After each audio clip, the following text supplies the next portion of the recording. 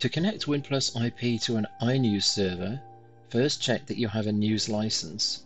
The word Newsroom will be displayed in the WinPlus title bar. To view the Newsroom pane, click Window and Newsrooms. This will display the Newsrooms pane. Click on the Add button to open the Add Newsroom window and use the pull-down arrow to select iNews.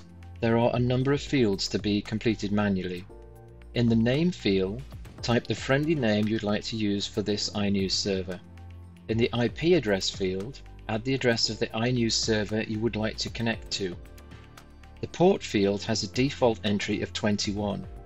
If this is not the port you will be using for the newsroom data transfer, enter the correct port number. Enter the username and password required to access the iNews server. When you have completed these fields, click Apply and the newsroom connection will be listed in the Newsrooms pane and the system tray. The status light will show orange while it connects. If the connection is successfully established, after a few moments the status light will be green. To access the rundowns in iNews, click the Open Run Order from Newsroom button. You will now see the iNews tree for this user.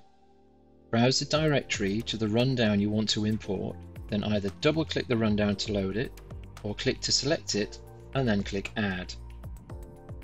You can add as many rundowns as you want, and then click Close.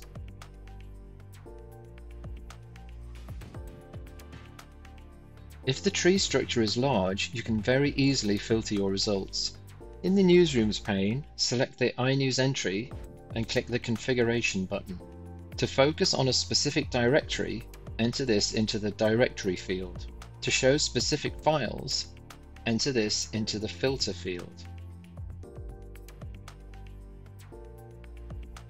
In this example, using both the directory and filter fields will change the results from this to this.